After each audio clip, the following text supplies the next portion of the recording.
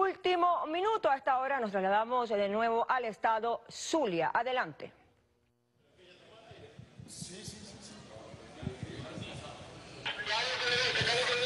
Gracias por este contacto. Nos encontramos en el Hospital Universitario de Maracaibo, parroquia Chiquinquirá del Estado Zulia, donde acaba de llegar el presidente constitucional de la República Bolivariana de Venezuela, Nicolás Maduro, para reinaugurar el área de emergencia de este importante hospital. Como podemos apreciar, en estos momentos habla con las autoridades de este importante centro de salud en el Estado Zulia, una obra sin duda alguna que va a beneficiar a un número importante de zulianos y zulianas. Como podemos apreciar, el jefe de Estado se encuentra también en compañía de la primera combatiente Silvia Flores, el padrino del Estado Zulia y presidente de PDVSA Pedro Tellechea, entre otras personalidades que a esta hora acompañan al primer mandatario nacional. Debemos destacar que el Hospital Universitario de Maracaibo fue inaugurado el 18 de noviembre de 1962 con una capacidad instalada de 900 camas, siendo el hospital más grande de Latinoamérica para la década de los 60. Continuamos observando a través de las pantallas cómo el jefe de Estado continúa a esta hora conversando con las autoridades para dar esta sorpresa al pueblo del Estado Zulia, como ya lo hemos dicho, la reinauguración completa de los de la sala de emergencia del Hospital Universitario de Maracaibo. Debemos destacar que actualmente este hospital funge como centro de formación académica de estudiantes de pre y posgrado nacionales e internacionales de diferentes especialidades y sigue siendo el hospital más grande del occidente del país. También Debemos destacar que durante los trabajos efectuados en este hospital se logró reactivar en un 100% la emergencia de adultos. buenas tardes, estamos aquí conversando con el doctor Borja, la doctora Mayret, Lolimari, la doctora Lolimari, el ministro padrino del Zulia, Tellechea, está Diosdado Cabello también, Silita, la Cava está visitando porque viene a aprender del Zulia para Carabobo, la vicepresidenta ejecutiva, el presidente de Corpo Zulia, Reverol, todo el equipo, porque hemos venido al Gigante Azul, el Hospital Universitario de Maracaibo, a entregar recuperado de paquete toda la emergencia de adultos, ¿verdad? Estamos precisamente en Maracaibo.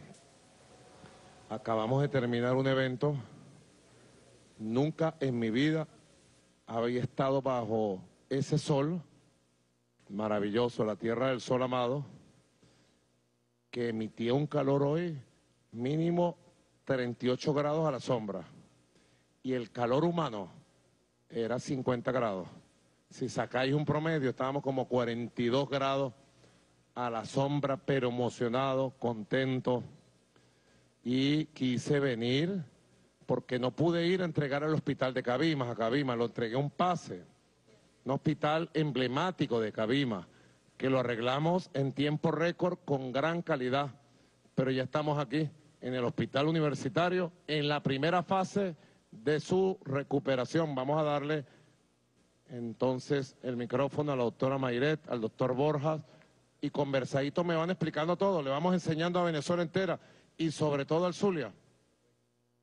Bueno, presidente, eh, felices porque es así, ¿no? Nosotros recuperamos el hospital de Cabimas, que tuvimos el honor de tenerlo este, y presentárselo a través de un pase presidencial. Así Se graduó este año de internista. Qué bueno, felicidades. Presidente, esto es una obra más de este programa que usted le entregó al país hace dos años esta es una obra más este, de, un programa que usted le entregó al país hace dos años, que es el 1 por 10 del buen gobierno. Recibimos una denuncia, bueno, el ministro y padrino Pedro Rafael Tellechea, él pasó su revista y usted eh, dio las instrucciones cumplidas a cabalidad y hoy se está entregando, materializando esta, esta maravillosa obra que viene a, transformar más aún los espacios de salud del Estado Zulia con Ay, perdón. Eh, aquí tenemos la sala de aislamiento. Esto es una de las cosas más bonitas que tenemos aquí en el hospital, porque es un área, es un encofrado cumple con todas las normas internacionales para aislamiento y riesgo biológico. Aquí tenemos, tenemos al paciente para intubarlo, para tenerlo conectado a ventilación mecánica, tenemos los monitores multiparámetros que estos traen cagnógrafo, ¿ok? Tenemos aquí qué es lo que mide el CO2 para los pacientes con dificultad para respirar. Y, este, y pacientes con riesgo biológico son aislados completamente dentro de la emergencia, pero no tienen contacto con los demás pacientes. Esto es algo, esto no se, esto, esto no se tiene. Y además, además la más alta tecnología mundial, venciendo las sanciones. La más alta tecnología la estamos trayendo por aquí a la derecha, ¿verdad? De allá vengo, de la calle derecha. Por aquí, vente, Tellechea.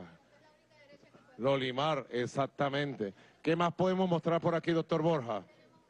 Fíjese, aquí lo que usted ve aquí era, es el área de triaje. El paciente cuando llega es evaluado, clasificado, diagnosticado y referido entonces si va para el aislamiento de donde venimos o se pasa a la sala de ese trauma shock.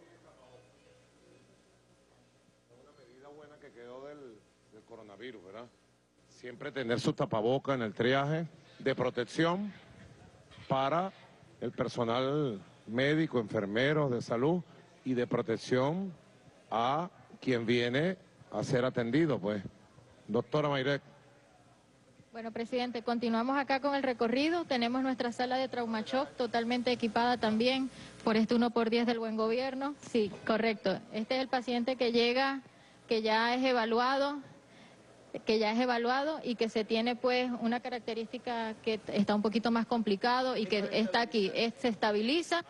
Aquí se estabiliza totalmente el paciente. Si el paciente llega más grave, si el paciente es un paciente que amerita intubación, nosotros tenemos ahorita la capacidad de tener la intubación de los pacientes acá en nuestra área de observación crítica, que teníamos antes tres cupos, presidente, y ahorita tenemos ocho cupos para poder tener a nuestro paciente totalmente ventilado. Esto, esta es la vedette. Este lo, esto es lo, una de las cosas que se logró gracias al 1 por 10 del buen gobierno, gracias a las gestiones del presidente de la República. Mire, aquí tenemos, este es el área, este es el área de... Este es el área de pacientes críticos, Karina. Karina es la jefa de enfermeras de la emergencia. De esta de Karina. Karina Uribarri. Carlos Blanquicet, residente de tercer año de medicina interna. Colombia. Se, ¿Qué parte de Colombia? Eh, Barranquilla, exactamente, señor. Bienvenido, presidente, a Zulia. Cartagena, Barranquilla y Santa Marta son... Cartagena, Barranquilla y Santa Marta. Es así, ¿verdad? De la Villa Caracas hoy. Bueno, me alegra mucho que tengan esta sala con la más alta tecnología, tan bella y bueno, al servicio de la gente. Tenemos capacidad para ventilar 10 pacientes simultáneamente y tenemos la capacidad incluso de duplicar en caso de alguna necesidad Dios no, la, no, sea necesaria, pero siempre tenemos una reserva estratégica, que eso es muy importante. Otra cosa que quería acotarle, presidente, es que somos un hospital internacional porque nosotros tenemos estudiantes de intercambio que vienen de Colombia, Ecuador, aquí vienen ellos a formarse, de Perú. Haití salió un haitiano el año pasado de. Es un hospital que le brinda formación académica no solo a nuestros hermanos venezolanos, sino a todos los hermanos de Latinoamérica. Entonces es un hospital emblema, porque aquí se forma personal. nuestros residentes ya gracias a esto no tienen por qué irse del país. Aquí se forman. Aquí se forman la mayor calidad. Porque la medicina venezolana es buena, buena, buena, de alta calidad científica. Bueno, que Dios me los bendiga. Continuamos mostrando por aquí. Adelante. Una fotico por aquí. Usted sigue preguntando. Aquí, Borja.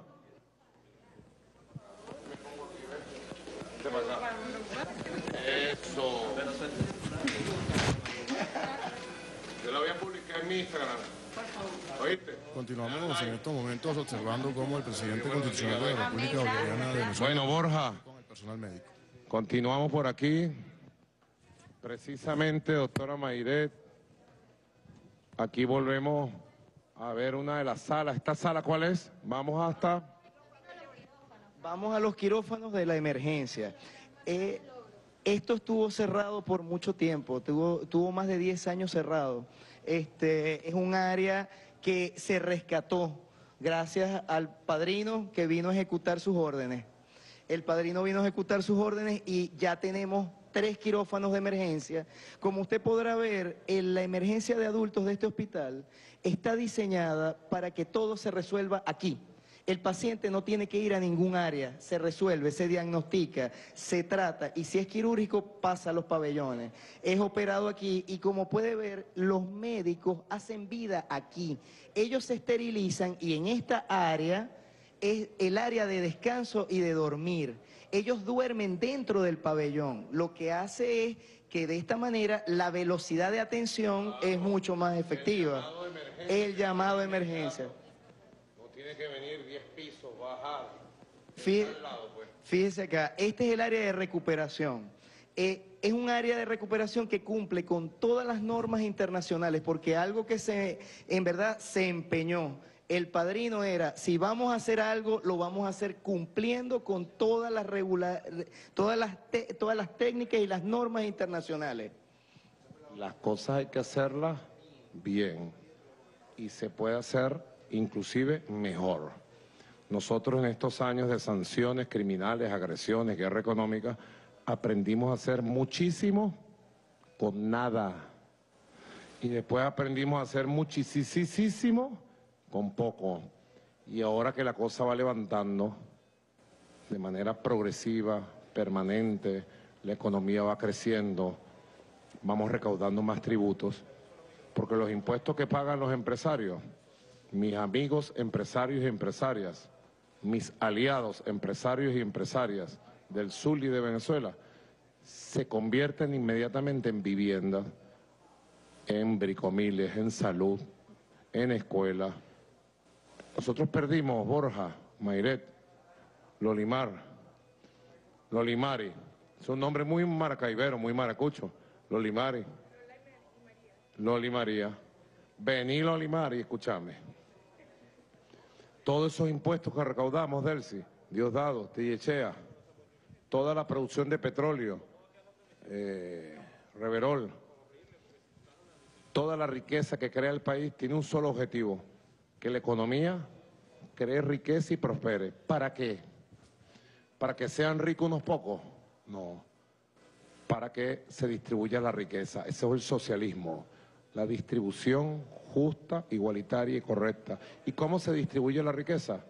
Invirtiendo en educación, construyendo viviendas, en salud, en el Parque Ana María Campo, para que la gente vaya a pasar un buen momento, ¿verdad?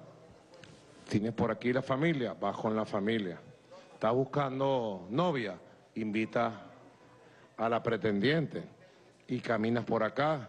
Yo fui la otra vez a inaugurar la segunda parte en tiempo récord, en menos de un año. Construimos las dos primeras partes del parque, Ana María Campo.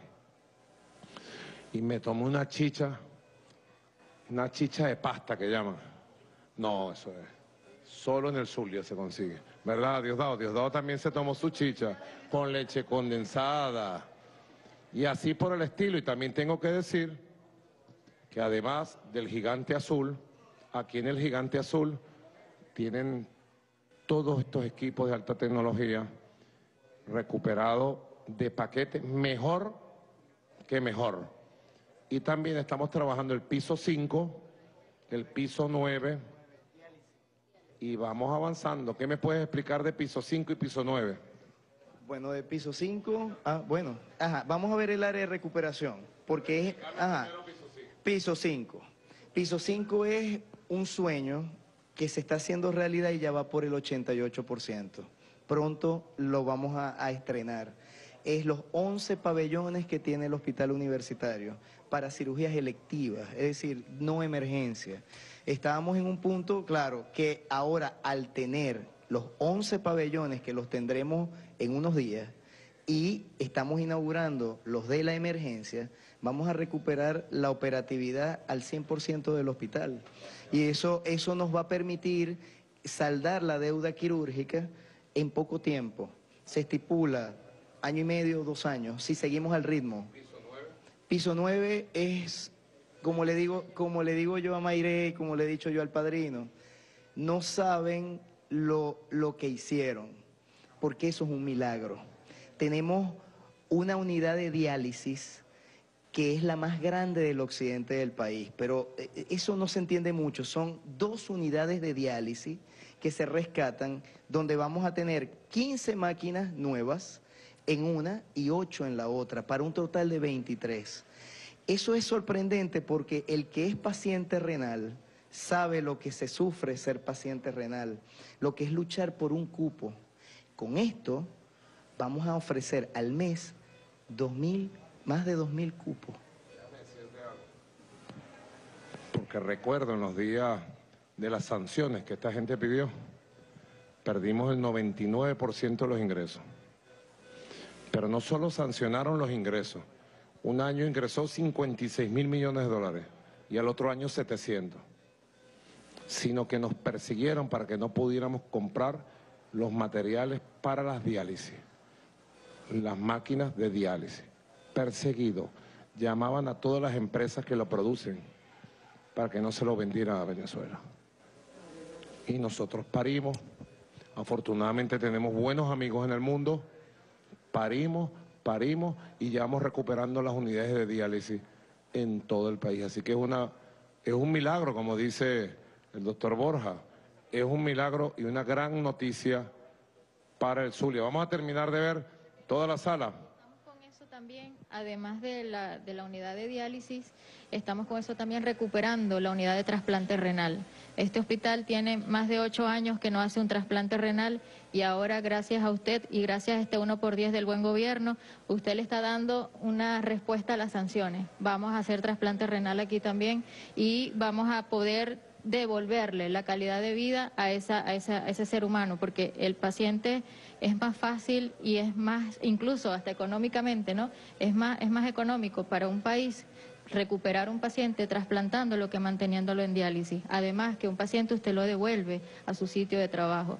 Están ocurriendo maravillosas cosas, presidente, gracias a este 1 por 10 del buen gobierno y gracias a sus políticas sociales y gracias a ese empeño de darle el amor al pueblo. Y una de esas es recuperar la salud acá en el Estado y por supuesto este gran gigante azul que usted les está devolviendo la identidad porque también se recuperó la identidad del hospital con los colores del hospital. Nosotros nos empeñamos con el padrino buscar los colores con los que el día que se fundó, el día que se reinauguró, porque si se le va a devolver la identidad, la queremos devolver como es.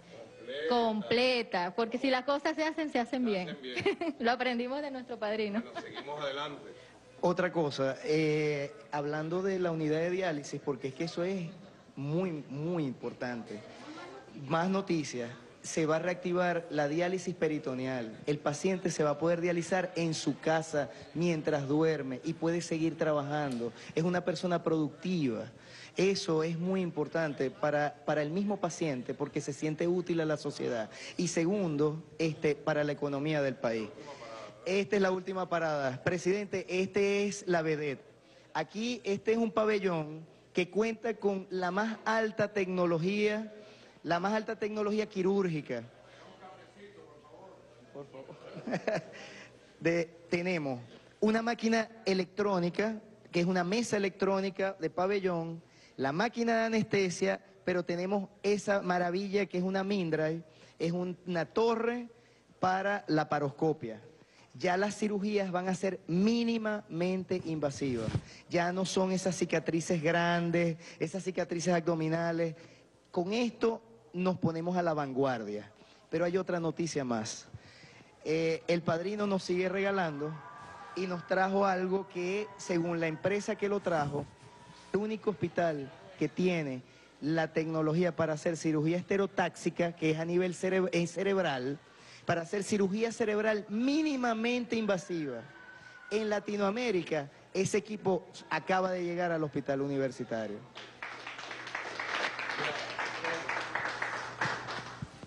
Buenas noticias para el Zulia.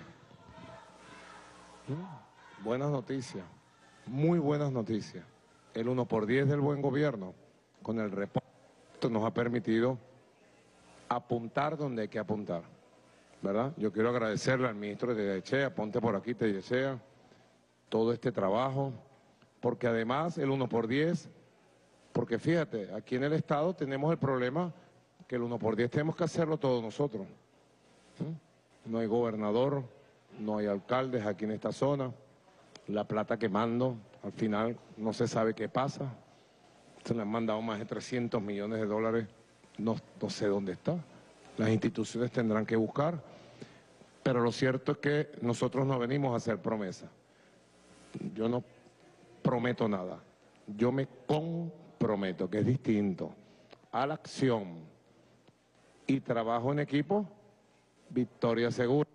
En este momento que estoy hablando, le anuncio al Zulia que están entregando totalmente recuperada de paquete la unidad de radioterapia y medicina nuclear del doctor Jorge García Tamayo, ubicado en la parroquia Chiquinquirá, Maracaibo. Obra del 1 por 10 del buen gobierno. Unidad de radioterapia y medicina nuclear. Segundo, se está entregando de paquete, reportado por ustedes, en la parroquia Coquibacoa, el CDI y la sala de rehabilitación integral Zapara, ubicado en la parroquia Coquibacoa, Maracaibo. En tercer lugar, se está entregando de paquete, reportado por el 1 por 10, el Centro de Diagnóstico Integral y la Sala de Rehabilitación Integral Panamericana, aquí en Maracaibo. Y además estamos entregando de paquete el CDI, Centro de Diagnóstico Integral, y la Sala de Rehabilitación Integral Sinamaica Carrouña, ubicado en la parroquia Sinamaica en La Guajira. Mi saludo a toda La Guajira, que estuve por allá. Como dicen por ahí, son hechos, no promesas, son realidades, son compromisos. Vamos a despedir entonces. Un saludo de Che, al padrino. Bueno, presidente, yo le puedo decir que siguen las buenas noticias para el Zulia. Usted sabe que nosotros tenemos el Hospital Coromoto, que es el hospital ese hospital en este momento tenemos también, ese hospital depende directamente de PDVSA y ya estamos en la rehabilitación en el área de, de la infantil, en 15 días lo estamos entregando, iniciamos la intervención del área de quemado para que tenga la mejor tecnología de quemado. Es, decir, que nosotros desde el Zulia vamos a tener el hospital insigne de área de quemado para todo el país Gracias al 1 por 10 del buen gobierno, herramienta que fue creada por usted para comunicación directa al pueblo, a nuestros hermanos y nuestras hermanas, aquí vemos las soluciones. Y le dimos solución en el área hospitalaria, en el área de salud, eh, áreas, inclusive intervino techo, escuelas, las bricoles, deportes, venido cubriendo todas las necesidades que nuestros hermanos y nuestras hermanas del Zulia le han dado usted le han hecho la solicitud por la herramienta del 1 por 10 buen gobierno. Y nosotros seguimos dando respuesta eh, de forma de inmediata. Bueno, presidente, de verdad que desde el Zulia podemos decir, hemos cumplido, seguimos cumpliendo y los momentos difíciles pasaron. Ahora vamos para los momentos de esperanza, de sueños, esos sueños que tenemos nosotros como venezolanos, vamos a seguir creciendo. Eh, como usted sabe, también dio la instrucción que, interviniéramos en el área de, la facultad de la, del Zulia, en el área química y petro, eh, de hidrocarburos. Ya llegamos a una primera fase, en la fase de los laboratorios, es decir, que nosotros vamos a hacer el ciclo completo en el área de salud, intervenimos en el área de salud, en el área eh, educativa. Y aquí, como usted sabe, estamos interviniendo la salud y los estudiantes en el área internacional, porque no nada más estudian los médicos venezolanos, sino también están viniendo de toda parte de América Latina para formarse. Y ahora, más que tenemos estos equipos que son los únicos en Venezuela, estoy seguro que vamos a tener más estudiantes. Bueno, mi comandante, bueno, presidente, de verdad que muy feliz de estar aquí en el Zulia y gracias a usted estamos avanzando. Voy a parar me tomé un cafecito de Boconó. que cargo encima. Póngase para acá por una foto. Vente, Loli. Aquí, tomándome este selfie, lo voy a poner en mi Instagram. Eso sí, le dan like. ¿Ah? Yo estoy buscando una casa para tener aquí una casita presidencial en Maracaibo. Reverol, consígueme una casita por ahí. ¿Ah? Cerca del Saladillo o del Alto Saladillo, para estar cerca de, de la Chinita. Porque hay que hacer mucho más por Maracaibo y por el Zulia. Y tengo ese compromiso y ese sentimiento. Y me verán por aquí bastante. Así que le dije a Silita, Silita, vamos a buscarnos un apartamentico, vamos a buscarnos algo, porque me vengo para Maracaibo. Felicito al Zulia. Vamos avanzando. Los tiempos peores quedaron atrás. Y lo que viene es grande para el Zulia y para Venezuela. Que Dios los bendiga, pues. Gracias. Gracias por tanto amor.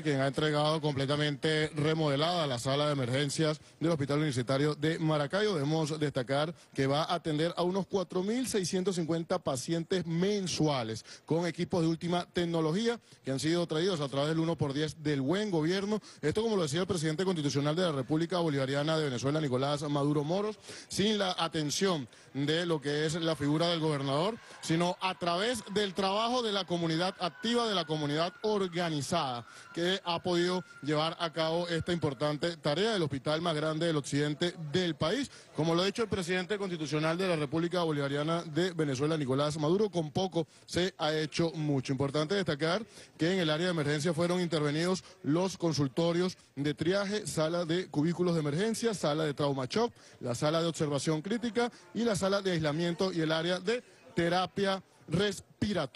Importante trabajo arduo que se realizó incluso a través del trabajo de Pedro Tellechea, padrino del Estado Zulia. Otra área de vital importancia para el Hospital Universitario de Maracaibo es la de quirófanos de emergencias, también recuperados en un 100%, impactando con 120 cirugías de alta envergadura semanal, lo cual no es poca cosa para los habitantes de esta importante ciudad y por supuesto el Estado Zulia. En esta área fueron intervenidos tres quirófanos, dotándolos con tecnología de punta y se construyó un área de descanso para el personal de salud, lo que incluye, por supuesto, a las enfermeras, médicos y, por supuesto, personal operativo de este importante centro de salud del occidente del país, el más grande de esta región. También se atendieron 11 quirófanos en los cuales se realizaron se van a realizar 3.330 intervenciones quirúrgicas por mes, lo cual habla de la importancia que tiene este hospital. Debemos destacar que gracias al 1 por 10 del buen gobierno, como ya lo veníamos diciendo, se llevó a cabo la rehabilitación de todas estas zonas del Hospital Universitario de Maracaibo. Con esta información devolvemos el pase nuevamente a los estudios en Caracas. Adelante.